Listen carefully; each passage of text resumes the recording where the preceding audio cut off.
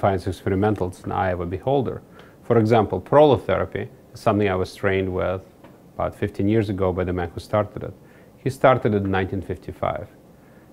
They still come in, patients, patient came in today, said this is experimental. I said it's experimental to the insurance company. It's not really experimental because all it is, we're putting in sugar injection. There's no major study because there's no pharmaceuticals behind it to pay for the study. So really, I would say after 60 years of clinical use, it's really not experimental. That's how I de define it. Uh, when I use sub-Q stimulators, it's by insurance company defined as an experimental use. Stimulator has been developed in the 60s and it's safer instead of putting it next to spinal cord under the skin. They define it experimental so they don't have to pay it.